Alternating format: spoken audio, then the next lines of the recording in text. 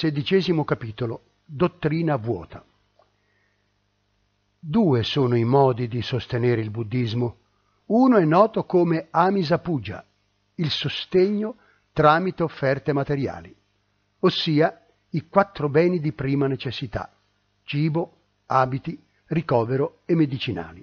Sono offerte materiali per il sangha dei monaci e delle monache e consente loro di vivere in un benessere ragionevole per la pratica del Dhamma. Ciò favorisce la diretta realizzazione dell'insegnamento del Buddha, che a sua volta apporta una continua prosperità alla religione buddista. Il buddismo può essere paragonato a un albero. Un albero ha delle radici, un tronco, dei rami, dei ramoscelli e delle foglie. Tutto, le foglie, i rami, incluso il tronco, dipendono dalle radici per l'assorbimento del nutrimento dal terreno. Proprio come l'albero dipende dalle radici per il sostentamento, le nostre azioni e le nostre parole sono come rami e foglie che dipendono dalla mente, la radice che assorbe il nutrimento poi inviato al tronco, ai rami e alle foglie. A loro volta queste fruttificano come parole e azioni.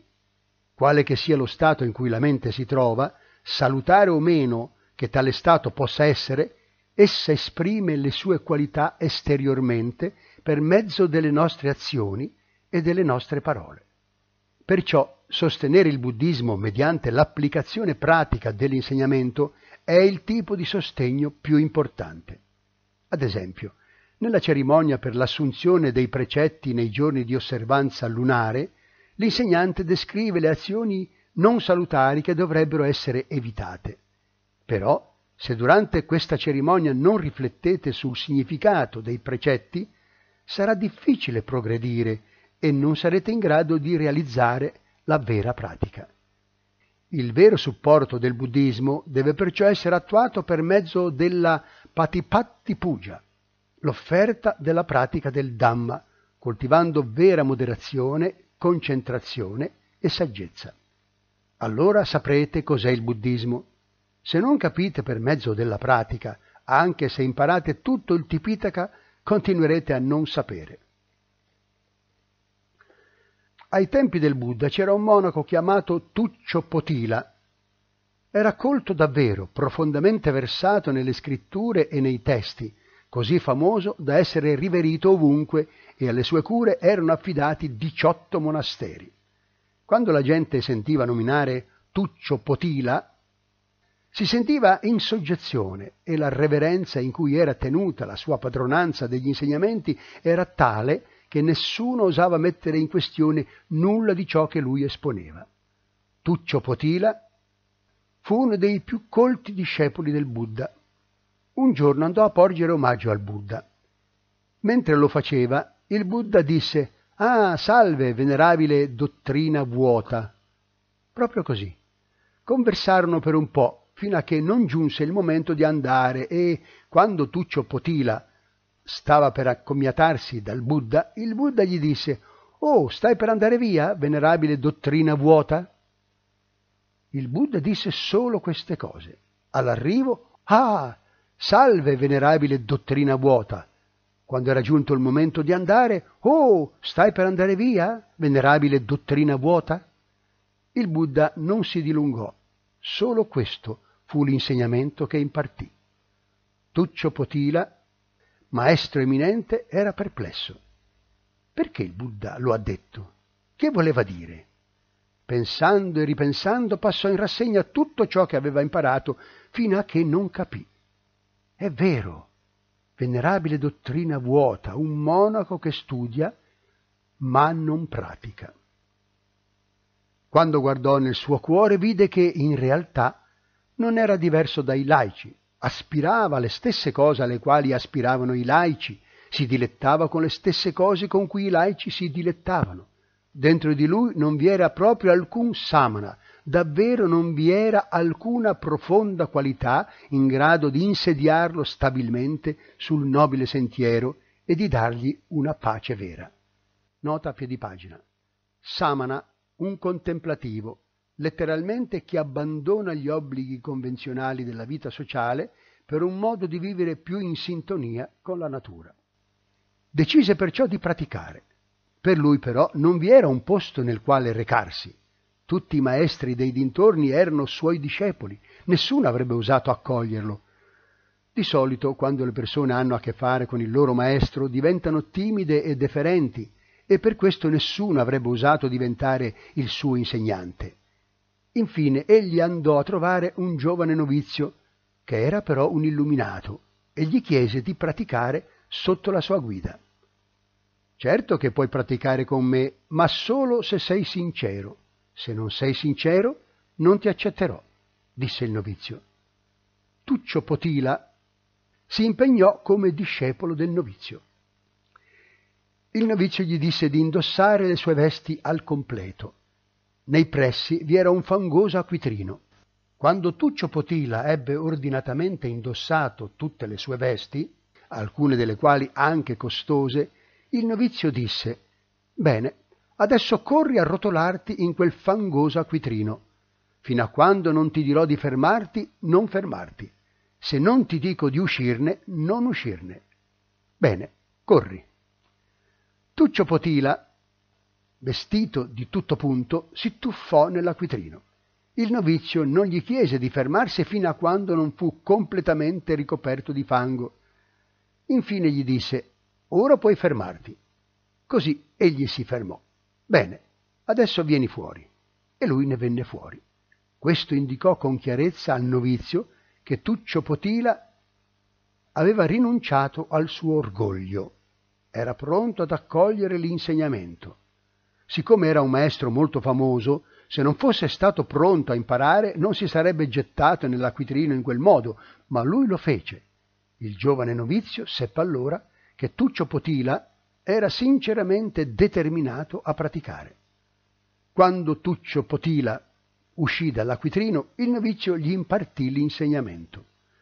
Gli insegnò a osservare gli oggetti dei sensi, a conoscere la mente e a conoscere gli oggetti dei sensi usando la similitudine dell'uomo che cattura una lucertola nascosta in un termitaio. Se il termitaio ha sei fori, come farà a catturarla? Dovrà sigillare cinque fori e lasciarne aperto solo uno. Poi dovrà limitarsi a osservare e attendere, sorvegliando quel foro. Quando la lucertola uscirà, potrà catturarla. La mente si osserva in questo modo, chiudendo gli occhi, gli orecchi, il naso, la lingua e il corpo, resta solo la mente. Chiudere i sensi significa contenerli e calmarli, osservando solo la mente. La meditazione è come catturare la lucertola. Usiamo sati per osservare il respiro. Sati è la qualità del rammemorare, come quando chiedete a voi stessi che cosa sto facendo. Sampagagna è la consapevolezza che ora sto facendo così e così. Osserviamo il respiro che entra ed esce con sati e sampagagna. Nota a piedi pagina. Sampagagna, chiara comprensione, consapevolezza di sé, autorammemorazione, attenzione, consapevolezza, presenza mentale, comprensione profonda. Questa qualità del rammemorare è una cosa che sorge dalla pratica, non può essere imparata dai libri, significa conoscere le sensazioni che sorgono. La mente può essere relativamente inattiva per un po' ed ecco che sorge una sensazione. Sati lavora in connessione a queste sensazioni, rammemorandosene. C'è Sati, il rammemorare che parlo, vado, siedo e così via. E poi c'è Sampagagna, la consapevolezza che ora sto camminando, sto giacendo, sto sperimentando questo o quello stato d'animo. Con Sati e con Sampagagna possiamo conoscere le nostre menti nel momento presente e sapere come la mente reagisce alle impressioni sensoriali. Ciò che è consapevole degli oggetti sensoriali è detta mente. Gli oggetti dei sensi vagano dentro la mente. Ad esempio, c'è un suono, come quello del trapano elettrico che sta qui, Esso entra attraverso l'orecchio e viaggia all'interno della mente, la quale riconosce che è il rumore di un trapano elettrico. Ciò che riconosce il suono è detta mente. Ora, la mente che riconosce quel suono è piuttosto semplice. È solo la mente comune. Forse sorge in colui che prova del fastidio. Dobbiamo addestrare ulteriormente colui che riconosce, affinché divenga colui che conosce, in accordo con la verità, noto come Buddho. Se non conosciamo con chiarezza in accordo con la verità, ecco che siamo infastiditi dai rumori della gente, delle automobili, dei trapani elettrici e così via. Questa è solo una mente ordinaria e non addestrata che, con fastidio, riconosce il suono. Conosce in accordo con le sue preferenze, non in accordo con la realtà. Dobbiamo addestrarla ulteriormente per conoscere mediante la visione profonda, Jnanadassana, con il potere della mente affinata affinché conosca il suono semplicemente come suono. Nota a piedi pagina. Jnanadassana, conoscenza e visione, anche all'interno delle quattro nobili verità. Se non ci attacchiamo al suono, non c'è fastidio. Il suono sorge e noi semplicemente lo notiamo. Sorge in conseguenza di condizioni, non è un essere, un individuo, un sé, un noi o loro, è solo un suono e la mente lascia andare. Questo conoscere è chiamato Buddho, quella conoscenza che è chiara e penetrante. Con questa conoscenza possiamo lasciare che un suono sia semplicemente un suono. Non ci disturba, a meno che non lo disturbiamo noi pensando non voglio sentire quel suono, è fastidioso. La sofferenza sorge a causa di questo pensiero. Proprio qui sta la causa della sofferenza, nel fatto che non conosciamo la verità al riguardo, che non abbiamo sviluppato Buddho. Non siamo ancora liberi, non ci siamo ancora risvegliati, non siamo ancora consapevoli. Questa è la mente grezza, non addestrata. Questa mente non ci è molto utile. Per questa ragione il Buddha insegnò che questa mente deve essere addestrata e sviluppata. Dobbiamo potenziare la mente proprio come potenziamo il corpo, ma lo facciamo in modo differente. Per sviluppare il corpo dobbiamo allenarlo, correndo al mattino e alla sera e così via. Questo è allenare il corpo. Il risultato è che il corpo diventa più agile, più forte, il sistema respiratorio e il sistema nervoso diventano più efficienti. Per esercitare la mente non dobbiamo tenerla in movimento, ma indurla a fermarsi, indurla a riposare. Ad esempio, quando pratichiamo la meditazione, assumiamo come nostro fondamento un oggetto, come l'inspirazione e l'espirazione. Questo diventa il centro della nostra attenzione e riflessione osserviamo il respiro. Osservare il respiro significa seguire il respiro con consapevolezza, notarne il ritmo, il suo andare e venire. Applichiamo la consapevolezza al respiro, seguendo la naturale ispirazione ed espirazione e lasciando andare tutto il resto. Il risultato del rimanere con un solo oggetto di consapevolezza è che la nostra mente si riposa. Se lasciamo che la mente pensi a questo, a quello e a quell'altro ancora, gli oggetti di consapevolezza sono troppi. La mente non si unifica, non riesce a riposarsi. Dire che la mente si ferma significa che essa percepisce di essersi fermata, non va scappando di qui e di là.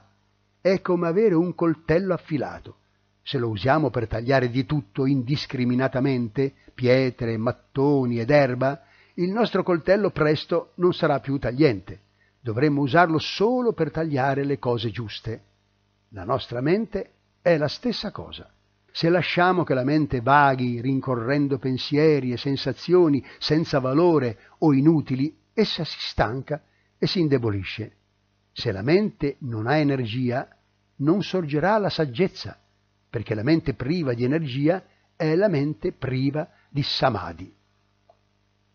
Se la mente non si ferma, non potete vedere con chiarezza gli oggetti dei sensi per quello che sono. La conoscenza che la mente è la mente e gli oggetti dei sensi sono solo gli oggetti dei sensi è la radice dalla quale il buddismo è cresciuto e si è sviluppato. Questo è il cuore del buddismo. Dobbiamo coltivare questa mente, svilupparla, addestrarla alla calma e alla visione profonda. Addestriamo la mente a essere moderata e saggia, facendola fermare, consentendo alla saggezza di sorgere, conoscendo la mente così com'è. Sapete come siamo noi esseri umani, come facciamo le cose? Siamo proprio come dei bambini. Un bambino non sa nulla.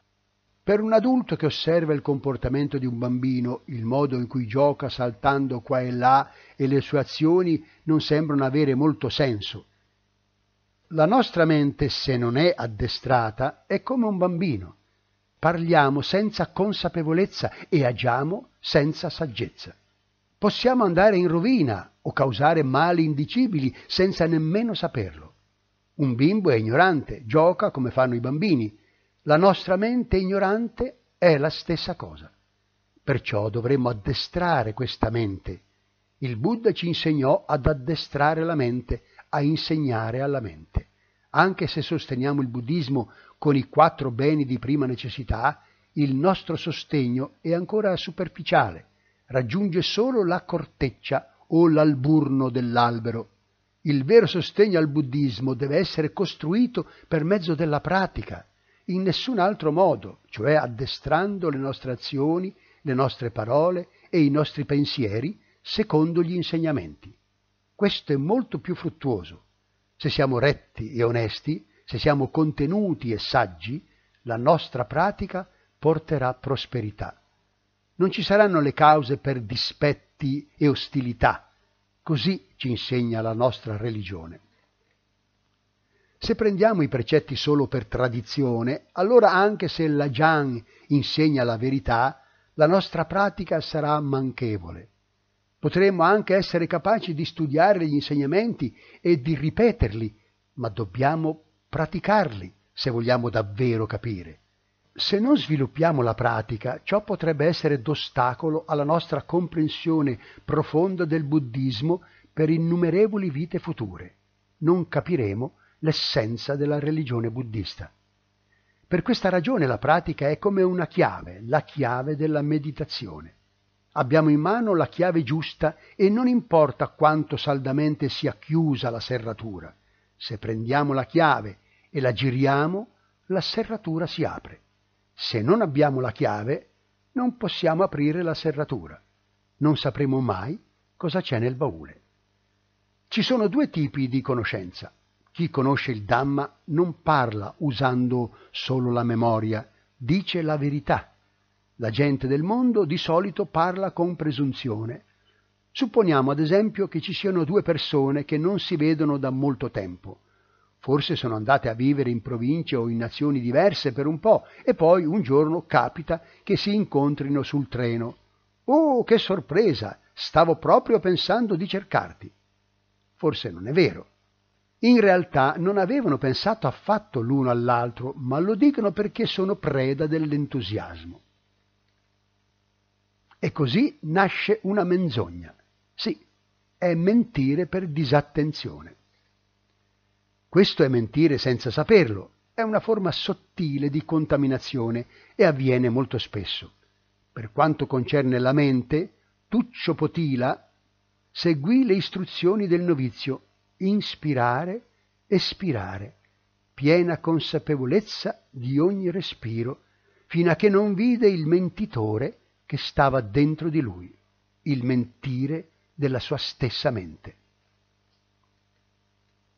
vide le contaminazioni man mano che affioravano, proprio come si vedrebbe la lucertola che esce dal termitaio. Le vide e appena sorgevano ebbe la percezione della loro vera natura. Notò come la mente inventava una cosa ora e qualcos'altro nel momento successivo. Pensare è Sankata Dhamma, un qualcosa che si crea o si inventa sulla base di condizioni che fungono da supporto. Nota a piedi pagina. Sankatadhamma, fenomeno condizionato, realtà convenzionale, in contrapposizione con l'incondizionato Asankatadhamma, ossia il Nibbana. Non è Asankatadhamma l'incondizionato. La mente ben addestrata di chi è dotato di perfetta consapevolezza non architetta stati mentali. Questo tipo di mente penetra le nobili verità e trascende ogni necessità di dipendere da cose esteriori. Conoscere le nobili verità è conoscere la verità.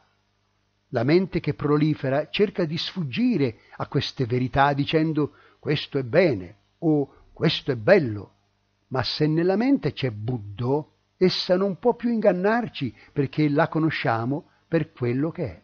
La mente non può più creare stati mentali illusori, perché vi è chiara consapevolezza del fatto che tutti gli stati mentali sono instabili, imperfetti e fonte di sofferenza per chi s'aggrappa a essi.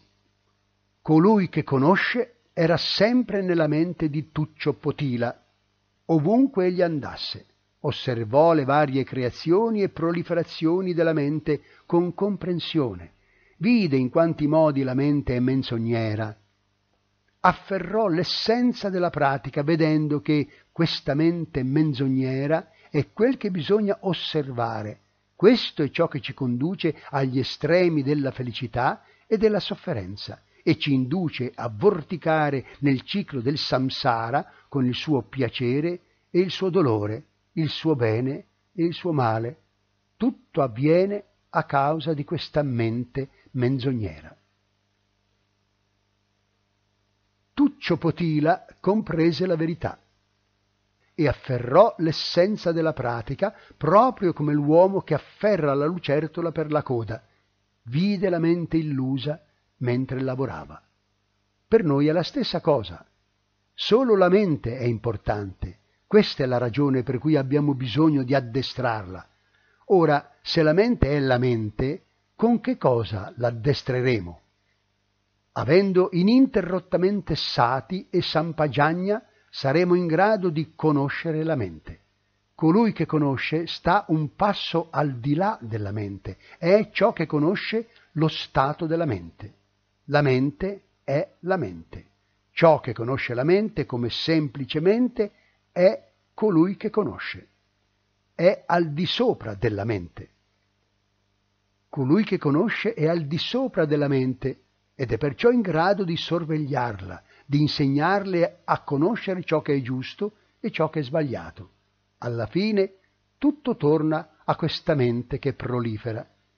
Se la mente resta catturata dalle sue proliferazioni, non vi è consapevolezza e la pratica è infruttuosa.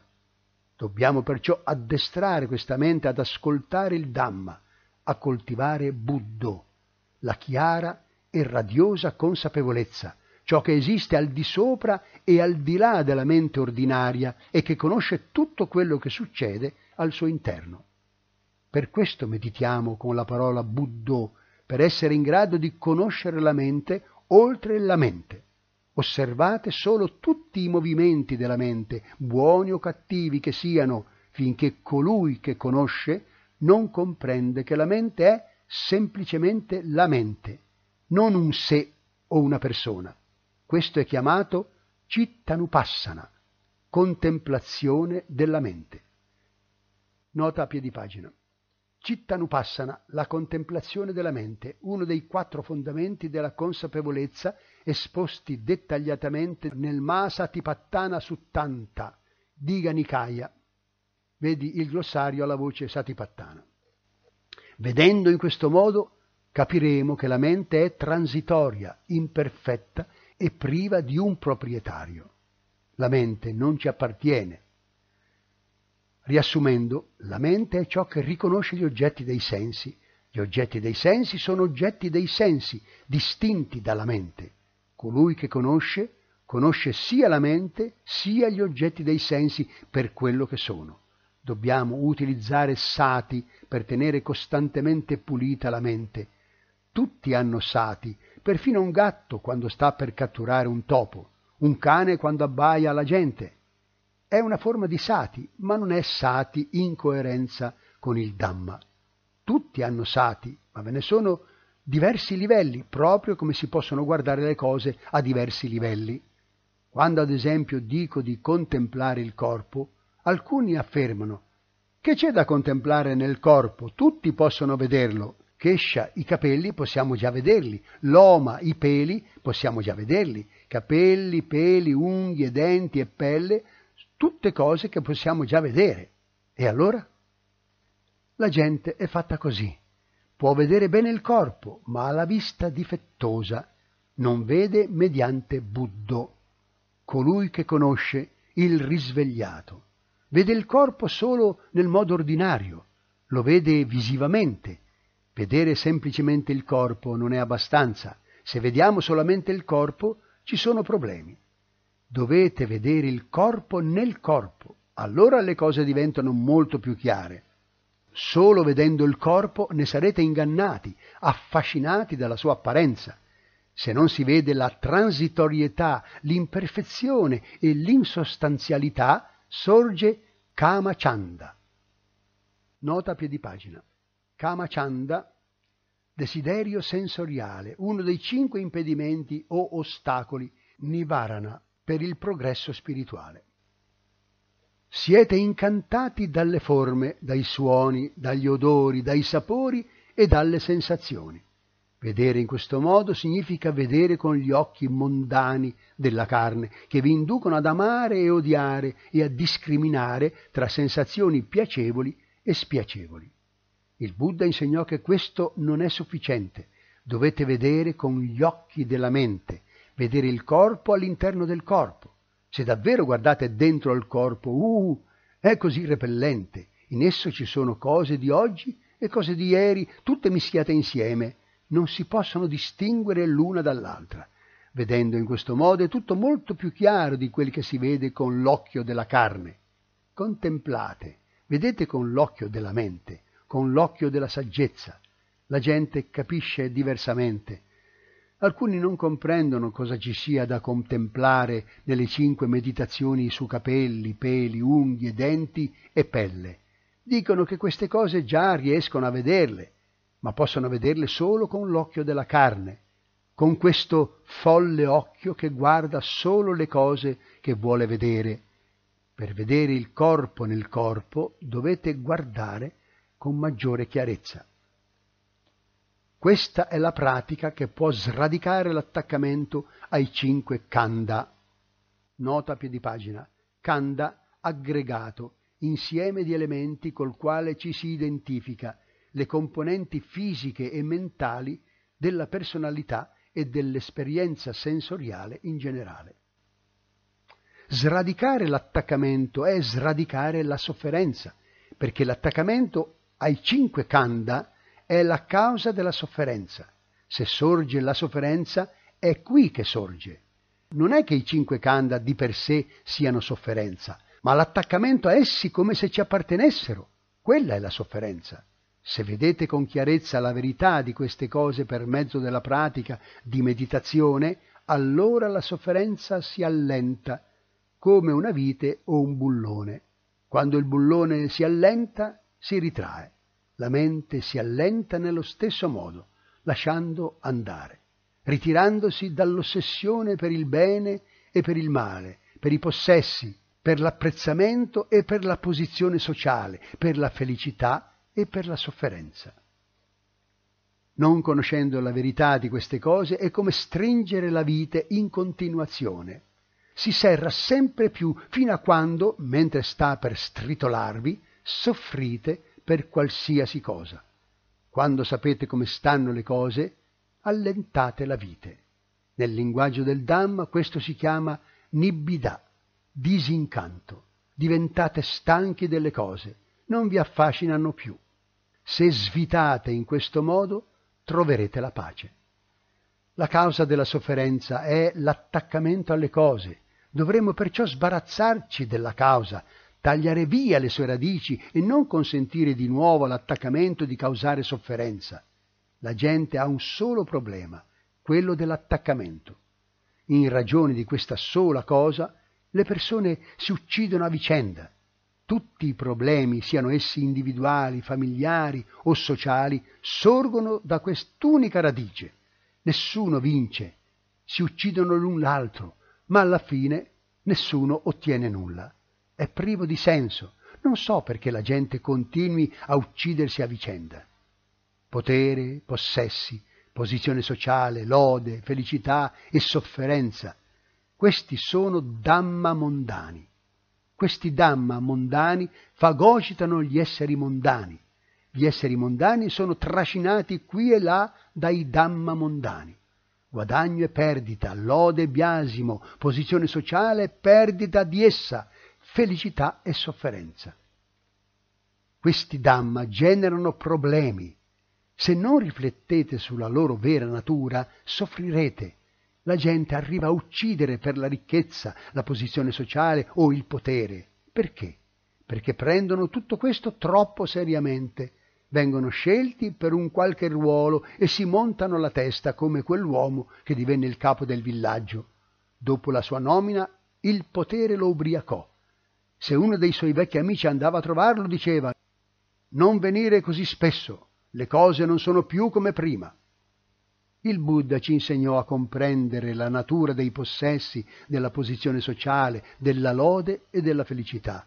Prendete queste cose quando arrivano, ma lasciate che siano quello che sono. Non permettete che vi diano alla testa. Se non comprendete davvero queste cose, sarete ingannati dal vostro potere, dai vostri figli e parenti, da qualsiasi cosa. Se le comprendete con chiarezza, saprete che sono tutte condizioni impermanenti. Se vi attaccate a esse, si contaminano.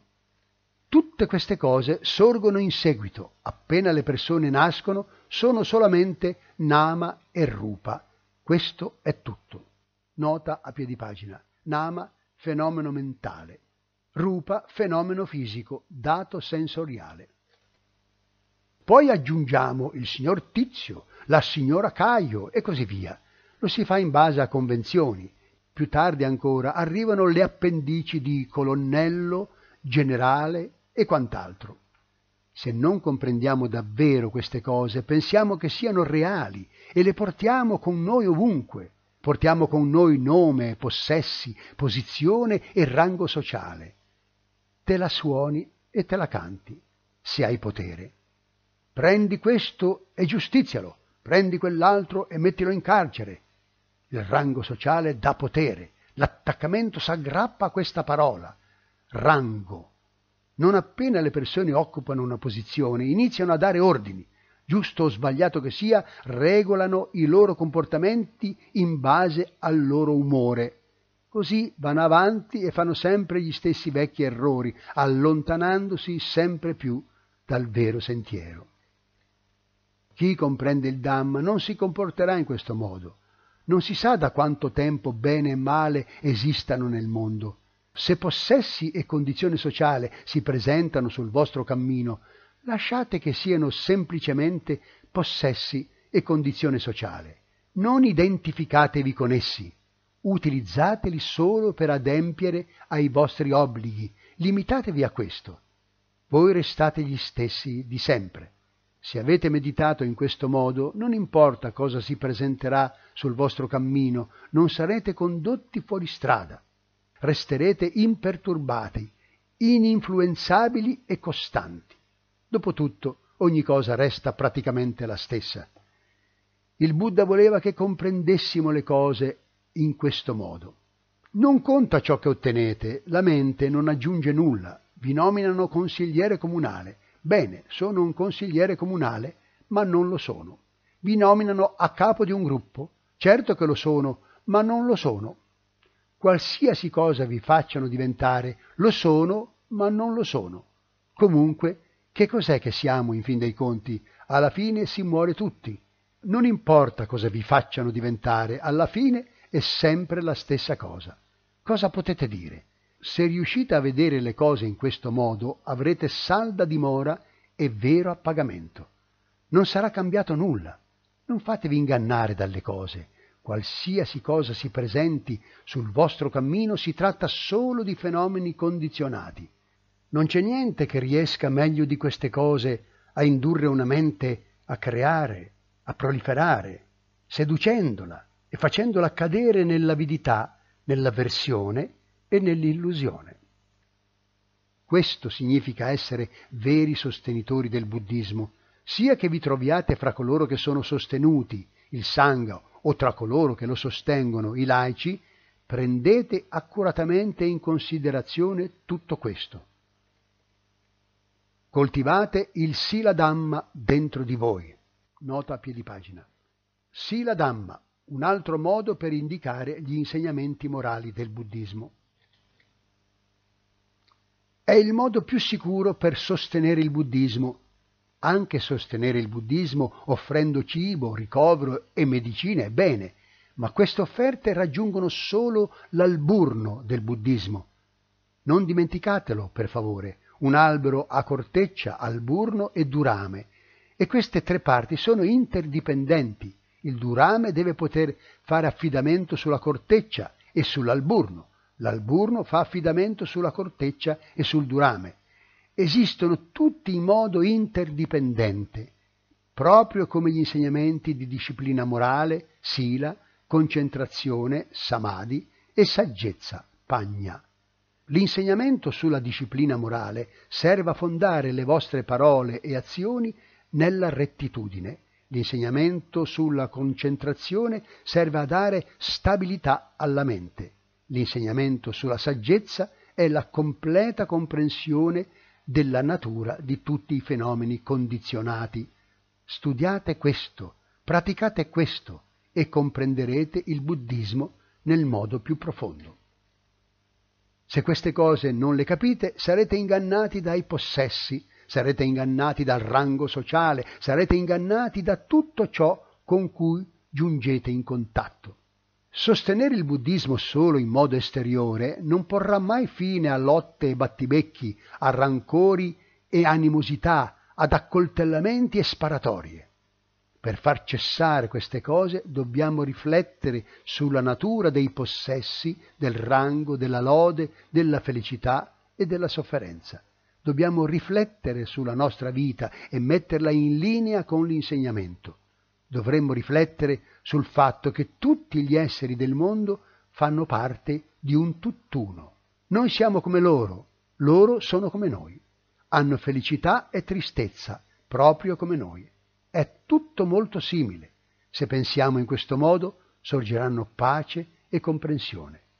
Questo è il fondamento del buddismo.